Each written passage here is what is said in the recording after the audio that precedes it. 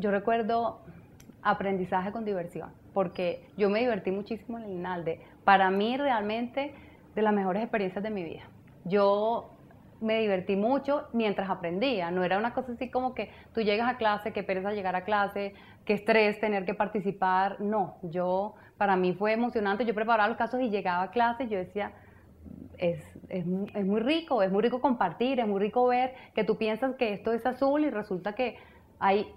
50 personas más y cada una piensa que es de un color diferente, entonces es muy enriquecedor. En la clase tú ves que el profesor dice una cosa y siempre están abiertos a ver que la persona del lado lo ve rojo, este rosado, este morado, yo lo veo azul, entonces es, enriquecedor, esa diversidad y, ese participar y ese reírte y aprender de una forma relajada realmente es lo que hace que se quede más dentro de ti el conocimiento.